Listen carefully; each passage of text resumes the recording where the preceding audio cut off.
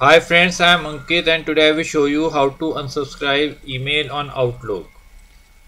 Friends, if you are receiving unwanted emails and want to unsubscribe it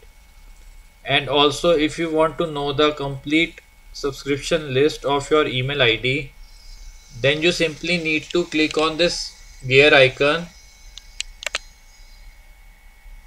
and here you need to click on view all Outlook settings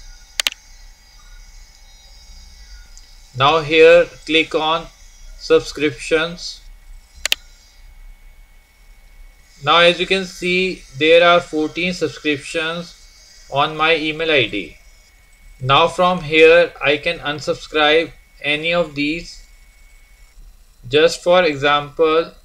I unsubscribe reminders at the rate facebookmail.com now click on ok now we have unsubscribed reminders at the rate facebookmail.com so friends like this you can very easily manage your subscription list of your email id in outlook.com